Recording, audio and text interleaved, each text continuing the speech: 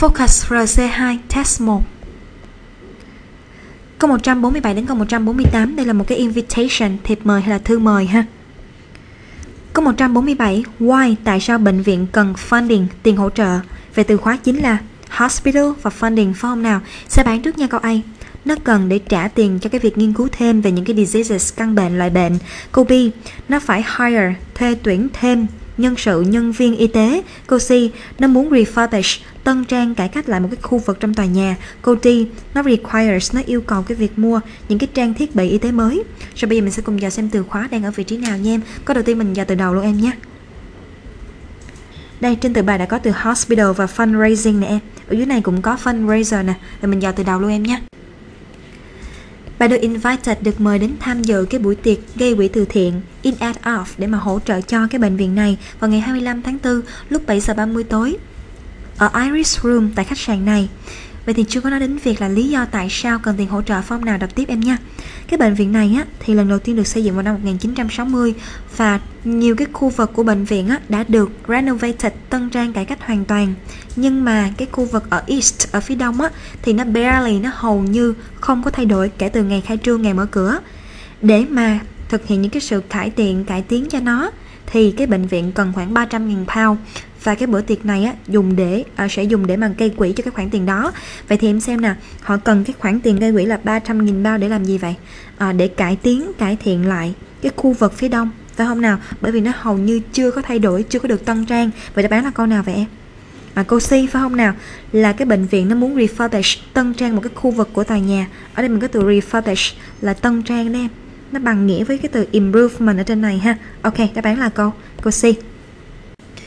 Câu 148, how can làm thế nào bằng cách nào thì những vị khách obtain có được một cái món đồ complimentary miễn phí về từ khóa chính là obtain complimentary item form nào sẽ bán trước nha câu A bằng việc trả tiền at least cho ít nhất là 4 vị khách. Câu B bằng việc presenting xuất trình một cái thư mời thiệp mời từ một cái sự kiện previous trước đây. Câu C bằng việc đặt chỗ trước cho một cái sự kiện mà đặt trực tuyến đặt online á. Câu D bằng việc tình nguyện giúp đỡ tại bệnh viện.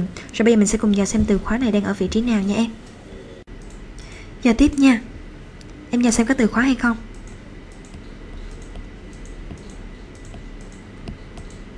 À đây em thấy từ receive là nhận nè, Nhận cái gì đó as a gift, Như một món quà có nghĩa là nhận miễn phí phong nào? Vậy đọc câu này em nha.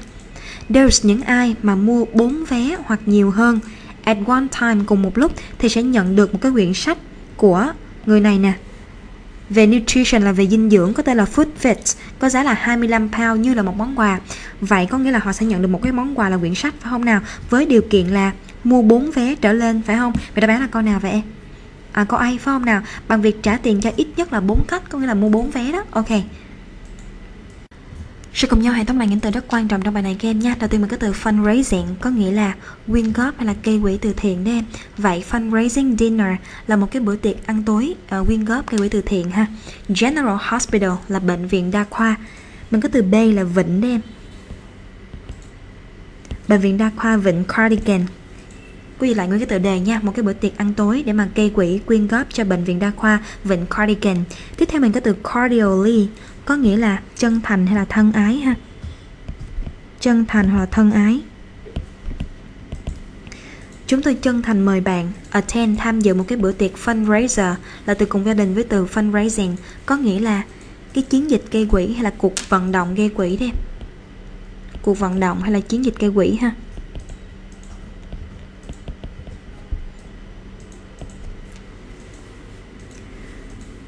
Chúng tôi chân thành mời bạn tham dự một cái bữa tiệc uh, gây quỹ in aid of.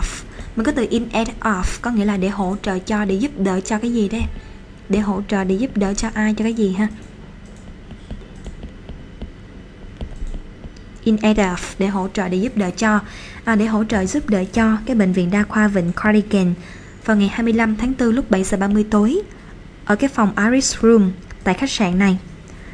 The Hospital, cái bệnh viện á, thì lần đầu tiên được xây dựng vào năm 1960 và while trong khi hay là mặc dù ha nhiều cái khu vực của nó đã được renovated là gì em? Tân trang hay là cải cách ha? Tân trang cải cách cải thiện đó đã được tân trang hoàn toàn. Nhưng mà cái khu vực ở phía đông thì barely mình có từ barely là hầu như không đấy barely hầu như không ha. Thì hầu như không có thay đổi kể từ cái ngày nó mở cửa cái ngày, kể từ cái ngày nó khai trương được không nào. Rồi để mà thực hiện những cái improvement mình có từ improvement là sự cải thiện hay là sự cải tiến nè? Để thực hiện những cái sự cải thiện tân trang cho nó thì cái bệnh viện cần khoảng 300.000 pound. Mà cái số tiền này á thì cái bữa tiệc ăn tối này nè sẽ raise funds for à, sẽ quyên góp cho cái khoản tiền đó. Tickets những cái tấm vé thì có thể được purchase là mua đem em nó bằng với từ buy ha. Có thể được mua với cái giá là 100 pound tại cái reception desk. Mình có từ reception desk là cái quầy lễ tân hay là cái bàn lễ tân ha? Main có nghĩa là chính nè. Có thể được mua tại cái bàn lễ tân, cái quầy lễ tân chính. Những ai mà purchasing mua 4 tấm vé hoặc là nhiều hơn là mua 4 tấm vé trở lên á, at one time cùng một lúc sẽ nhận được một quyển sách của Dr. Diana Larsen về nutrition là về dinh dưỡng nè. Nutrition là dinh dưỡng ha có tên là Food Fit. Có giá là 25 pound như là một món quà. Chúng tôi sincerely, mình có từ sincere là chân thành luôn đấy. Sincere, chân thành ha. Sincerely, chân thành. Chúng tôi chân thành hy vọng là bạn sẽ tham gia so that để mà bệnh viện có thể thực hiện được những cái upgrade là sự nâng cấp đi upgrade là nâng cấp là sự nâng cấp ha. Thực hiện những cái sự nâng cấp, một số cái sự nâng cấp necessary, cần thiết mà những cái sự nâng cấp này sẽ giúp phần improve là cải thiện cái level cái mức độ chăm sóc mà chúng tôi cung cấp rồi câu 147 câu anh mình có từ disease là bệnh hay là căn bệnh đấy disease bệnh hay là căn bệnh ha tiếp theo mình có từ medical là y tế hay là y khoa Medical personnel là nhân sự hay là nhân viên y tế ha. Tiếp theo mình có từ refurbish, nó bằng với từ renovate, có nghĩa là tân trang hay là cải cách, cải tiến nè. Renovate, tân trang ha. Câu C là nó nó muốn refurbish, tân trang một cái khu vực của tòa nhà. Câu 148 mình có từ obtain là có được hay là lấy được ha. Obtain có được hoặc là lấy được. Complimentary là miễn phí đây có được một cái item một cái món đồ miễn phí ha câu A mình có từ at least là ít nhất câu B mình có từ present động từ là xuất trình đây xuất trình ha tiếp theo mình có từ previous là trước đây trước hay là trước đây hay là trước đó cũng được ha Câu B là bằng việc xuất trình một cái thiệp mời thư mời từ một cái sự kiện trước đây trước đó. Câu C mình có từ making reservation có nghĩa là đặt chỗ trước nha, reservation, việc đặt chỗ trước ha. Câu D mình có từ volunteer là tình nguyện. Câu D là bằng cách tình nguyện giúp đỡ tại một cái bệnh viện, được không nào? Ok. Câu 149, câu 150 đây là một cái ticket, một cái tấm vé ha. Câu 149 cái điều gì được chỉ ra được nói về Mr. Singer về từ khóa chính là cái tên riêng này phải không nào? Sẽ bán trước nha câu A. Ông ấy đã mua một cái return ticket là một cái vé khứ hồi đấy em. Câu B, ông ấy đã được tính phí một cái fare, một cái mức tiền vé. Fare là tiền vé đây em. Reduce được giảm giá, có nghĩa là ông ấy đã được giảm giá tiền vé ha. Rồi tiếp câu C, ông ấy lên kế hoạch staying the night qua đêm ở Columbus. Cô D, ông ấy là resident cư dân của New York rồi bây giờ mình sẽ cùng dò xem Mr. Singer đang ở vị trí nào trong bài nhé. Ở đây form nào, có Mr. Singer nè. Em xem nè, đây là một cái tấm vé phải không nào? Và Mr. Singer chính là một cái passenger là hành khách. Đây là số điện thoại của ông ấy và đây là địa chỉ nhà. Thì em xem là Mr. Singer ở đâu vậy? Ở New York phải không nào? Vậy chắc chắn Mr. Singer là cư dân ở New York rồi. Vậy đáp án là câu nào vậy em? Là cô đi luôn ha. Ok. Câu 150, what information, cái thông tin gì thì không được bao gồm trong cái vé? Đây là dạng câu hỏi loại trừ mình đọc vào từng đáp án nha, câu A trước. Cái refund policy, chính sách hoàn tiền lại, trả tiền lại của công ty Về từ khóa chính là refund, phải không nào? Em giờ xem có hay không? Đây nè em cùng đọc nha No refunds will be provided Sẽ không có hoàn tiền lại cho những passengers, những hành khách Những người mà miss, bỏ lỡ cái departure, cái giờ khởi hành của họ Vậy có nói về cái refund policy phải không nào? Có ai có ha? Tiếp cô Bi cái giờ arrival, giờ đến được dự tính ở Pittsburgh. Ok, vậy từ khóa chính là Pittsburgh phải không nào? Em vào xem có không? Đây nè. Arrive. Có cái giờ đến phải không nào? Vậy là câu B có luôn. Tiếp. Câu C. Baggage allowance. Cái sự cho phép về hành lý. Vậy từ khóa chính là baggage. Em vào xem có hay không? Nó không có từ baggage mà nó có từ gì đây luggage cũng là hành lý luôn nè từ đồng nghĩa. Dịch câu này nha. Passengers những hành khách thì được permitted được cho phép mang theo hai cái hành lý on board là lên tàu lên xe lên máy bay đem ở đây là lên xe đó ha. Vậy thì em xem nè câu C cũng có nhắc đến luôn phải không nào? Vậy đáp án chắc chắn là câu gì rồi? À, câu đi là cái thời gian departure khởi hành từ Chicago. Em dò xem có hay không? Từ khóa sẽ là Chicago phải không nào? Đây Chicago nè em. Chicago thì có arrive thời gian đến thôi chứ làm gì có thời gian khởi hành. Vậy đáp án chắc chắn là câu gì đây? Là câu đi là không có được bao gồm trong cái vé ha. Ok. Rồi cùng nhau hệ thống này những từ rất quan trọng trong bài này các em nha. Đây là một cái tấm vé của One Less Transportation Please bring this out. Vui lòng hãy in cái tấm vé này ra.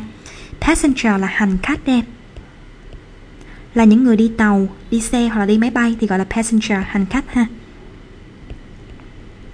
tên là William Singer Đây là số điện thoại của ông ấy Và đây là địa chỉ nhà của ông ấy. Mã số vé nè em. Class, cái loại vé Regular là thông thường. Fare là tiền vé đây fare là tiền vé ha là 52 đô. Date of departure mình có từ departure danh từ là sự khởi hành đó. Departure là sự khởi hành ha. Ngày khởi hành là ngày 11 tháng 8 Itinerary có nghĩa là lịch trình em. Lịch trình ha. Itinerary, lịch trình Depart, động từ đây em có nghĩa là khởi hành ha. Là động từ của từ departure ở trên á, Rồi khởi hành từ thành phố New York lúc 5 giờ 10 arrive là đến em đến cái vùng này lúc 12 giờ 12 ha. Rồi tiếp khởi hành ở Pittsburgh à, đến Columbus nè. Rồi depart khởi hành ở Columbus rồi đến Chicago. Your bus cái tuyến xe của bạn á, thì sẽ rời khỏi Park Avenue Coach Terminal ở New York City vào lúc 5 giờ 10 phút sáng. Vui lòng hãy have your ticket ready, có nghĩa là hãy chuẩn bị vé của bạn sẵn sàng để mà present là xuất trình đem. Động từ present là xuất trình ha. Để mà xuất trình cho cái driver, cái người tài xế khi mà bạn đến passengers, những hành khách thì được permit, mình có từ permit là cho phép em. À, thì được cho phép để mà mang hai cái luggage hai cái uh, kiện hành lý ha. Mình có từ luggage là hành lý on board là lên xe on board là lên xe, lên tàu hoặc lên máy bay. Trong cái cảnh này là lên xe đó em. Một cái là carry on, là hành lý sách tay nha. Carry on là hành lý sách tay. Và một cái thì có thể được store away, được cất cất giữ ở một cái nơi khác, có thể là ở hầm xe, gầm xe ha. Tiếp, no refund. Mình có từ refund là tiền hoàn lại đó em. No refunds will be provided. Tiền hoàn lại sẽ không có được cung cấp hay là sẽ không có hoàn tiền lại cho những hành khách mà miss, là bỏ lỡ ha miss tạm từ là bỏ lỡ. Mà bỏ lỡ, cái departure, cái sự khởi hành, cái giờ khởi hành của họ, nếu bạn muốn cancel là hủy bỏ cái vé của bạn thì vui lòng hãy gọi số điện thoại này. Có 149 câu đi mình có từ resident là cư dân đấy cư dân là cái người dân mà sinh sống ở một cái khu vực nào đó ha, người ta gọi là resident. Tiếp có 150 câu B mình có từ estimate là ước tính hay là ước lượng đây cái khoảng thời gian đến cái giờ đến được ước tính ước lượng uh, đến ở Pittsburgh ha câu D mình có từ baggage là hành lý luôn nè baggage là hành lý ha ok Câu 151 đến câu 152 đây là một cái letter, lá thư ha. Câu 151 The purpose, cái mục đích của lá thư là gì? Đối với dạng câu hỏi về mục đích thì mình đọc đáp án trước sau đó đọc đáp hỏi đằng cuối nha em. Đáp án trước nào có A. To introduce để giới thiệu một cái chương trình training đào tạo nhân viên. Câu B. To describe để miêu tả những cái sản phẩm của một công ty. Câu C. To invite để mời một cái người tham gia đến một cái seminar, hội thảo hội nghị về nhân sự. Câu D. To compare để so sánh những cái packages, những cái gói insurance, bảo hiểm khác nhau. Rồi, bây giờ mình vào đoạn đầu của cái lá thư trước nha em. Cùng đọc ha. Cái lá thư này được gửi đến cho Miss Miskin. Tôi là một representative, người đại diện từ công ty Welltime Benefits và chúng tôi rất là quan tâm đến việc được gặp bạn để mà discuss, thảo luận về cái mà chúng tôi có thể cung cấp cho công ty của bạn. Chưa bạn đọc tiếp nha. Tại Welltime Benefits, chúng tôi hiểu cái vai trò của bạn như là một manager, một người quản lý về phúc lợi của một công ty và có thể cung cấp những cái plans nó làm cho công việc của bạn trở nên dễ dàng hơn as well as cũng như là suit phù hợp cho những cái nhu cầu của công ty bạn đó là lý do tại sao mà những cái gói phúc lợi của nhân viên của chúng tôi đó thì được đánh giá là hàng đầu bởi nhiều doanh nghiệp và tổ chức vậy thì em xem cái này đang nói về việc gì một cái người đại diện từ công ty Welltime Benefits là một cái công ty mà nó cung cấp những cái gói phúc lợi cho nhân viên đến những doanh nghiệp và tổ chức à, đang giới thiệu đang quảng cáo về cái sản phẩm của họ cho công ty của Miss Miskin phải không nào? Bởi vì Miss Miskin chính là quản lý về phúc lợi nè em. Thì họ cung cấp những cái gói phúc lợi cho nhân viên và hôm nào nên họ giới thiệu cái sản phẩm của họ cho Miss Miskin em đọc thêm một câu nữa xem nào. Well Time Benefits Offers cung cấp rất là đa dạng những cái gói bảo hiểm mọi loại nhu cầu bảo hiểm ví dụ như là y tế nè sức khỏe tinh thần nè răng miệng nè phải không nào? Vậy thì em sẽ đáp án là câu nào? Chắc chắn là câu à, câu B rồi phải không nào? Là để miêu tả về những cái sản phẩm của một cái công ty. Có bạn nhầm câu đi em coi là câu đi thì có từ insurance package phải không? Nhưng em coi câu đi là gì đây? So sánh rất là đa dạng những cái loại những cái gói bảo hiểm khác nhau nhưng ở đây không có hề so sánh mà đang quảng cáo ha. Vậy đáp án chính xác là câu B nha em. Ok. Câu 152 How can, làm thế nào bằng cách nào thì những công ty receive nhận được cái bảo hiểm cho parental absence? Và từ khóa chính là parental absence, phải không nào? Xe bán trước nha câu A. Bằng việc renew gia hạn các thành viên trong một cái chương trình phúc lợi. Câu B, bằng việc gửi một cái tài liệu trong vòng 2 tuần tới. Câu C, bằng việc đăng ký cho nhân viên cái coverage, cái phạm vi bảo hiểm comprehensive bao quát toàn diện. Câu bằng việc trả cái phí thêm hàng tháng phải không nào? Rồi bây giờ mình sẽ cùng giờ xem parental absence ở vị trí nào nha em. Đây ở đây có từ parental leave nè em. Mình có từ leave là rời khỏi, nó cũng bằng nghĩa với từ absence phải không nào? Absence là vắng mặt leave rời khỏi cũng là vắng mặt luôn mình đặt câu này nha disability và cái parental leave benefits những cái phúc lợi về disability và parental leave thì được bao gồm với lại cái gói choice care vậy có nghĩa là để mà nhận được cái bảo hiểm về parental absence, họ phải tham gia cái gói choice care, phải không nào mà em sẽ đáp án có cái từ choice care hay không không có, phải không nào vậy em dò tiếp đi À trên này có từ choice care em là câu này thử nha. Những cái gói phổ biến thì bao gồm Health Plus và Comprehensive Choice Care. Vậy thì Choice Care chính là một cái bảo hiểm comprehensive. Vậy đáp án là câu nào vậy em? Cô C phải không nào? Là để mà công ty nhận được cái bảo hiểm cho parental absence thì họ đăng ký cho nhân viên à, cái phạm vi bảo hiểm cái gói bảo hiểm comprehensive ha. Đáp án là câu C. Sẽ cùng nhau hãy tóm lại những từ rất quan trọng trong bài này các em nha. Đây là một lá thư gửi đến cho Miss Lisa Miskin đến từ cái công ty Inman Pharmaceuticals. Mình có từ Pharmaceuticals có nghĩa là dược đấy em, thuốc đấy ha. Đây là tên của một công ty dược. Đây là địa chỉ của nó nè. Gửi vào ngày 12 tháng 8, gửi Miss Miskin. Tôi là một representative là người đại diện từ công ty Welltime Benefits. Và tôi rất là quan tâm đến việc được gặp bạn để mà discuss, thảo luận xem cái gì mà chúng tôi có thể cung cấp cho cái form của bạn. Mình có từ form là bằng với từ company, là công ty đấy. Để mà thảo luận về những cái mà chúng tôi có thể cung cấp cho công ty của bạn. Tại công ty Welltime Benefits thì chúng tôi understand, hiểu được cái role, là cái vai trò đấy hiểu được cái vai trò của bạn như là một manager một cái quản lý một người quản lý về những cái có phúc lợi của công ty và có thể cung cấp cho bạn những cái plans, những cái kế hoạch mà nó làm cho công việc của bạn dễ dàng hơn. As well as cũng như là suit, động từ suit là phù hợp đấy cũng như là phù hợp với lại cái needs là nhu cầu của công ty của bạn. That's why đó là lý do tại sao mà những cái có phúc lợi nhân viên của chúng tôi á thì được đánh giá là số 1 đánh giá hàng đầu à, bởi nhiều doanh nghiệp và những cái organizations. Mình có từ organization là tổ chức ha. Webtime Benefits cung cấp a variety of, rất là đa dạng. Những cái gói mà nó covering, mình có động từ cover có nghĩa là bao phủ hay là bao trùm. Nhưng ngoài cái nghĩa này nó còn có nghĩa là bảo hiểm đây bảo hiểm, mọi loại cái nhu cầu bảo hiểm, ví dụ như là medical, y tế, y khoa, mental health là sức khỏe về tinh thần. Mình có từ mental là tinh thần đây dental là răng ha dental là răng life là tính mạng và còn nhiều hơn thế nữa Popular packages, những cái gói popular là phổ biến em.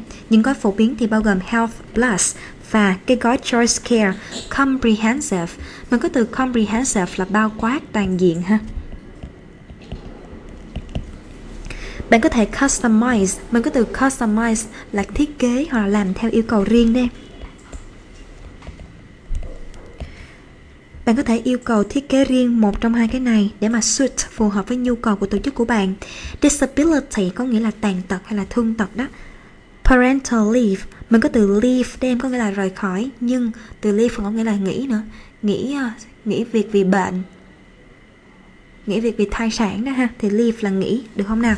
Thì chỗ này á parental leave là nghỉ thai sản, nghỉ để mà sinh con, chăm con đem còn disability leave à, là nghỉ vì thương tật ha.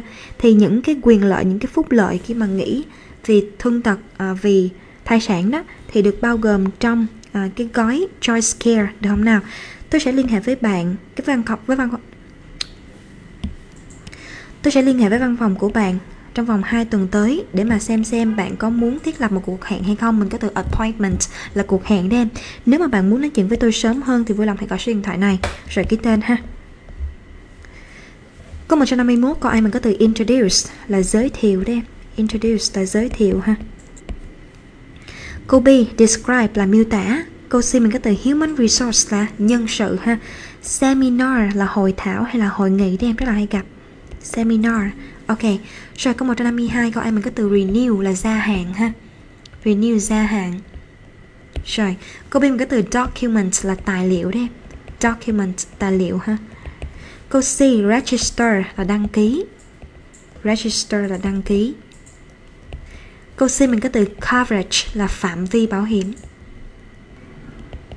Coverage, phạm vi bảo hiểm ha. Ok. Câu 153 đến câu 154 đây là một cái chuỗi tin nhắn ha. Câu 153 cái điều gì được nói về Market Street về từ khóa chính là Market Street phải không nào? Xe bán trước nha câu A. Nó thì half an hour away from Miss Meadows' office. Nó thì cách cái văn phòng của Miss Meadows nửa tiếng đồng hồ. Câu B, nó được tạo loạt trong một cái quận, một cái khu mua sắm. Câu C, rất là khó để mà tìm cái parking, cái chỗ đậu xe ở đó. Câu D, nó thì gần một cái điểm dừng giao thông, một cái điểm dừng xe buýt chính. Rồi bây giờ mình sẽ cùng dò xem Market Street đang ở vị trí nào nha. Ở đây form nào rồi cùng đọc nha. Thanks, cảm ơn the client. Khách hàng chính là Conventory Financial và họ thì đang renting, đang thuê một cái không gian ở State Tower trên đường Market Street, unit 1804. Chưa đoán phong nào được tiếp nha, Brian mới nói rằng ok, cái cuộc hẹn lúc mấy giờ? Thì Miss Meadows nói rằng 2 giờ 40 bạn sẽ có thể kịp cái giờ đó nếu bạn rời đi trong vòng 10 đến 15 phút nữa. Chưa đáp án luôn form nào giờ tiếp nha. Brian mới nói rằng tôi sẽ take a cab, tôi sẽ bắt xe taxi, vì vậy tôi sẽ đến đó nhanh hơn nó sẽ mất của tôi twice as long, lâu hơn gấp hai lần. Nếu mà tôi phải look for, tìm kiếm cái chỗ đầu xe ở khu vực đó, khu vực đó là khu vực nào vậy em? Chính là Market Street, trên đường Market Street phải không nào? Vậy thì chứng tỏ là cái khu vực này á, nó khó tìm cái đầu xe phải không nào? Vậy đáp án là câu nào vậy em? À, câu C ha, ok, rất là khó để mà tìm cái đầu xe ở đó. Câu 154 vào lúc 1 giờ 51 phút thì Miss Meadows có ý là gì khi bà ấy viết It should be sitting on my desk. sao bạn trước nha câu A. Bà ấy đã đặt một cái message, một cái tin nhắn từ khách hàng lên một cái counter, cái quầy. Câu B, bà ấy đã misplaced, đã để sai chỗ cái business card, cái danh thiếp của một khách hàng. Câu C, bà ấy không thể access, truy cập cái lịch hẹn của bà ấy. Câu D, bà ấy tin rằng một cái tài liệu thì ở nơi làm việc của bà ấy, workspace, cái không gian làm việc, cái nơi làm việc của bà ấy ha, cái chỗ làm việc của bà ấy. Rồi bây giờ mình sẽ cùng dò xem 1 giờ 51 phút đang ở vị trí nào nha. Ở đây form nào? Rồi, It should be sitting on my desk. Để hiểu được câu này có ý là gì, Mình phải đọc cái tin nhắn ở phía trước nè. Là 1 giờ 50 đó, Rồi cùng đọc nha. Brian nói rằng, Tôi sẽ bắt xe taxi, Vì vậy tôi sẽ đến đó nhanh hơn. Nó sẽ mất tôi gấp uh, hai lần cái khoảng thời gian nếu mà tôi phải tìm cái chỗ đậu xe ở đó phải không nào? Rồi tiếp what about the contract? Cái hợp đồng thì sao? Còn cái hợp đồng thì sao? Thì Miss Meadows nói rằng nó thì nên ở trên bàn của tôi. Vậy nó chính là cái gì vậy em? Nó chính là cái hợp đồng phải không nào? Vậy Miss Meadows có ý là gì? À, cái hợp đồng đó, nó ở trên bàn của tôi phải không nào? Vậy đáp án là câu nào vậy em? À, chỉ có thể là cô đi phải không nào. Cái hợp đồng chính là cái tài liệu ha. Là bà ấy tin rằng một cái tài liệu chính là cái hợp đồng á. Thì ở cái chỗ làm việc của bà ấy chính là cái bàn làm việc của bà ấy ha. Còn những cái khác thì không có phù hợp em. Bà ấy để tin nhắn từ khách hàng là không có nhắc tới nè. Cô B bà ấy để sai chỗ danh thiếp cũng không nói đến gì danh thiếp luôn phải không? Cô C là truy cập lịch hẹn không có lịch hẹn luôn em chỉ có thể là cô đi thôi ha. Ok. Sẽ cùng nhau hãy tóm lại những từ được highlight trong bài này các em nhé. Tiếng đầu tiên Miss Meadows nói rằng Brian, xin lỗi vì bother you. Mình có từ bother là làm phiền đấy Xin lỗi vì làm phiền bạn, Nhưng mà tôi cần ask a favor. Mình có từ ask a favor có nghĩa là nhờ giúp đỡ hay là nhờ hỗ trợ ha? Nhưng mà tôi cần nhờ giúp đỡ. I have to, tôi phải deliver, gửi một cái contract là hợp đồng rental là thuê đấy em. Tôi phải gửi một cái hợp đồng thuê final cuối cùng cho một cái văn phòng. Nhưng mà cái appointment, mình có từ appointment là cuộc hẹn đấy Nhưng mà cái cuộc hẹn á, nó kéo dài lâu. Tôi không nghĩ rằng tôi có thể gửi nó on time là kịp giờ. Tôi có thể gửi nó đến đó kịp giờ ha. Thì Brian nói rằng Tôi có thể gửi nó giúp cho bạn. Hãy gửi cho tôi details, cái thông tin chi tiết. Thì Miss Meadows nói rằng thanks, cảm ơn. The client, mình có từ client là khách hàng đấy Khách hàng này chính là Conventry Financial và họ đang renting, đang thuê một cái văn phòng, một cái không gian tại State Tower trên đường Market Street ở cái unit 1804. Brian nói rằng ok, the appointment, cái cuộc hẹn là lúc mấy giờ? Thì Miss Meadows nói rằng 2 giờ 40 phút. Bạn sẽ có thể à, kịp cái thời gian đó nếu bạn rời đi trong vòng từ 10 đến 15 phút nữa. Thì Brian nói rằng tôi sẽ take a cab. Mình có từ take a cab là take a taxi đi em có nghĩa là bắt xe taxi ha. Bằng với từ take a taxi. Cab là taxi á tôi sẽ đi xe taxi vì thế tôi sẽ đến đó nhanh hơn. Tôi sẽ mất gấp đôi thời gian lâu hơn gấp đôi nếu mà tôi phải tìm kiếm cái parking là cái chỗ đậu xe đấy em trong cái area mình có từ area là khu vực ha trong cái khu vực đó rồi What about the contract? Còn cái hợp đồng thì sao? Thì Miss Meadows nói rằng nó thì nên ở trên bàn làm việc của tôi. Tôi đã yêu cầu một receptionist. Mình có từ receptionist là nhân viên lễ tân hay là nhân viên tiếp tân đây. Tôi đã nhờ một nhân viên lễ tân copy nó và để nó ở trong cái văn phòng của tôi được hôm nào? Câu 153, cô đi mình có từ transit stop mình có từ stop là trạm dừng đấy em. Transit stop là một cái trạm dừng của phương tiện giao thông. Có thể là xe buýt ha, trạm dừng xe buýt. Rồi câu 154 Câu em mình có từ counter là cái quầy đấy em. Cái quầy ha. Rồi tiếp câu B mình có từ business card Có nghĩa là danh thiếp. Tiếp theo câu C mình có từ access là truy cập đấy em. Ok, access truy cập ha. Câu 155 đến câu 157 thì là một cái email ha. Câu 155, the main purpose, cái mục đích chính của email là gì? Đối với dạng câu hỏi về mục đích thì mình đọc đáp án trước, sau đó đọc đáp đầu hoặc đoạn cuối nha em. Đọc đáp án trước nào câu A. To announce, để công bố, để thông báo về cái grand opening, cái buổi lễ khai trương của một cái cửa hàng record. Câu B, to list, để liệt kê những cái sự kiện về âm nhạc cho hay là trong những cái tháng mùa hè. cô C, to provide, để cung cấp một cái schedule, cái lịch trình cho một cái celebration, buổi lễ đặc biệt. cô D, to keep members informed, để mà thông báo cho thành viên về những cái concert, những cái buổi hòa nhạc ở địa phương. Sẽ cùng vào đoạn đầu của email trước nha em. Ở đây form nào? Đây là một cái email gửi đến cho Mr. Choice. Rồi đọc tiếp nha. Mỗi năm vào ngày thứ bảy tuần thứ ba của tháng 5 thì chúng tôi celebrate, tổ chức chúc mừng cái ngày Record Store Day như là một cách để mà honor, vinh danh cái spirit, cái tinh thần independent, độc lập của những cái cửa hàng Record Store. Có một cái đáp án về Record Store là câu nào vậy em? Có ai form nào em đọc lại thử chỗ này nha. Để mà announce, thông báo, công bố về cái grand opening, cái buổi lễ khai trương của một cái cửa hàng record store. Có nói gì về cái cửa hàng, cái buổi lễ khai trương không em? Không có phải không nào? Và mình dò tiếp nha. That means điều đó có nghĩa là Fast Track Records sẽ một lần nữa lại partner with, cộng tác với, liên kết với tất cả những cái cửa hàng lớn khác ở trong thành phố để mà tổ chức cái ngày celebration, cái ngày lễ hội về âm nhạc. Chưa đáp án form nào đọc tiếp nha. Bởi vì bạn là thành viên của cái câu lạc bộ Music Fans Club, cho nên chúng tôi gửi cho bạn một số cái highlights, cái điểm nổi bật được lên kế hoạch vào ngày hôm đó. Vậy thì em xem nè, đây là cái khung thời gian và đây là những cái việc diễn ra và đây chính là cái lịch trình phải không nào? Và cái lịch trình này là của ngày nào vậy em? A Day of Music Celebration, cái ngày lễ hội âm nhạc, phải không nào? Vậy đáp án là câu nào vậy em hả? Câu C phải không nào là để cung cấp một cái lịch trình cho một cái ngày lễ hội đặc biệt ha. Ok, đáp án là câu C.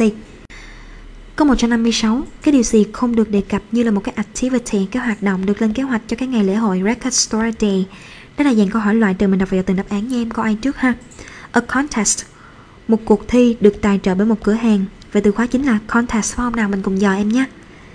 Cái hoạt động cho ngày lễ hội chính là coi trong cái lịch trình đấy em, em dò xem có contest, cái cuộc thi nào hay không. Từ 11 giờ đến 12 giờ sao xem có hay không nha. Không có phải không nào, 12 giờ đến 5 giờ thì sao? cũng không có cuộc thi luôn em tiếp theo 1 giờ đến 5 giờ cũng không có luôn form nào 2 giờ 30 đến 3 giờ 30 không có cuộc thi luôn em. Tiếp 4 giờ đến 5 giờ. Đây có từ competition nè em. Competition nghĩa là cuộc thi đấu nó bằng với từ contest đó. đọc câu này thử nha. Cái cửa hàng Gold Stars Records sẽ holding, sẽ tổ chức một cái competition, một cái cuộc thi đấu về chủ đề âm nhạc. Vậy là có cuộc thi. Phải không em? Và được tài trợ tại cửa hàng. Cửa hàng chính là cái nào vậy? Cái Gold Sound Records, phải không nào? Vậy là câu ai có đề cập ha? Tiếp câu B nha. Một cái performance, một cái buổi trình diễn về âm nhạc. Và em dò xem có buổi trình diễn âm nhạc hay không? Ở đây có từ performing nè, phải không? Nào đọc câu này thử nha. Một cái ban nhạc rock ở địa phương có tên là The Jimmy Scripps sẽ trình diễn một cái concert, một cái buổi hòa nhạc ở trong cửa hàng, tại cửa hàng này. Vậy là có trình diễn âm nhạc, phải không nào cô B có nha. Rồi tới cô C đen, một cái speech, một cái bài diễn thuyết, bài diễn văn bởi musician, một nhạc sĩ hay là ca sĩ. Rồi, vậy từ khóa chính là speech và musician, phải không nào? Em dò xem có hay không nha. Từ 11 giờ đến 12 giờ có từ reading này em là đọc này, có thể là đọc diễn thuyết, em đọc thử cái chỗ này nha. John, Sarah, Ernest và những cái critics, những nhà phê bình music âm nhạc, những nhà phê bình âm nhạc ở địa phương khác sẽ reading, sẽ đọc những cái sự lựa chọn từ tác phẩm của họ tại cửa hàng này. Vậy thì em xem nè, ai là người đọc? Là những nhà phê bình âm nhạc ở địa phương chứ không có nói đến nhạc sĩ ca sĩ gì cả phải không nào? Em dò tiếp xem ở dưới có bài diễn văn của nhạc sĩ ca sĩ hay không nha. Tiếp theo đi em không có form nào tiếp theo. Cũng không có luôn, tiếp theo. Không có cái cuối cùng. Cũng không có nói gì đến bài diễn văn của nhạc sĩ ca sĩ cả phải không nào. Vậy tạm thời cô si là chưa thấy nè. Để đây nha, tiếp cô đi đi em. A reading từ những cái reviewers, những người đánh giá ở địa phương.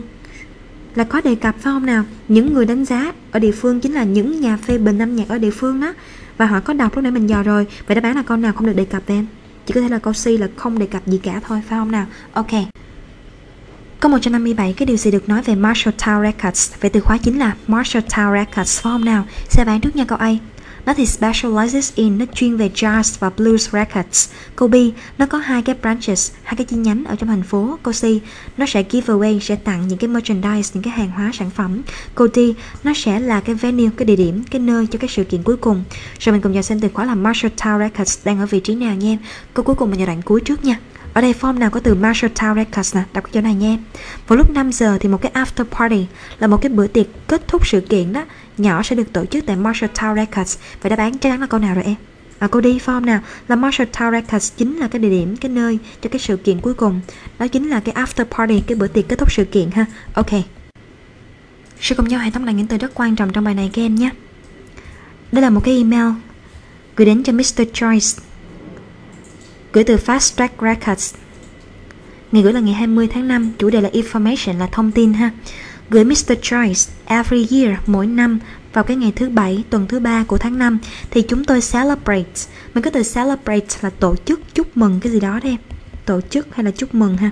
Tổ chức chúc mừng. Chúng tôi lại tổ chức chúc mừng à, cái ngày Record Store Day. Mình có từ Record Store là cửa hàng băng đĩa đây em. À, cái ngày cho cửa hàng băng đĩa ha. Như là một cái cách để mà honor. Mình có động từ honor là vinh danh đây để mà vinh danh cái independence là cái sự độc lập ha. Spirit là tinh thần đen để mà vinh danh cái tinh thần độc lập của những cái cửa hàng băng đĩa. Điều đó có nghĩa là fast track records sẽ lại lần nữa. Partner with. Mình có từ partner with là cộng tác đen cộng tác với ha partner with, cộng tác với. Sẽ lại cộng tác với tất cả những cái store, những cái cửa hàng major là lớn nè. Mình có từ major là lớn hay là chủ yếu? Chỗ này có nghĩa là lớn ha. Sẽ cộng tác với tất cả những cái cửa hàng lớn khác ở trong thành phố để mà tổ chức cái ngày celebration. Mình có từ celebration là sự tổ chức hay là bữa tiệc hay là ngày lễ hội cũng được ha. Cái này có nghĩa là lễ hội đấy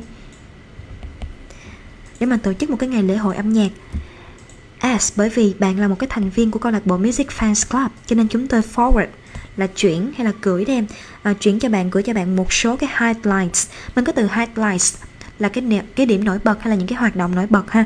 Những cái điểm nổi bật những cái hoạt động nổi bật được lên kế hoạch cho cái ngày đó. Từ 11 giờ đến 12 giờ đó thì John, Sarah, Ernest và những cái critics là nhà phê bình đấy critics là nhà phê bình ha?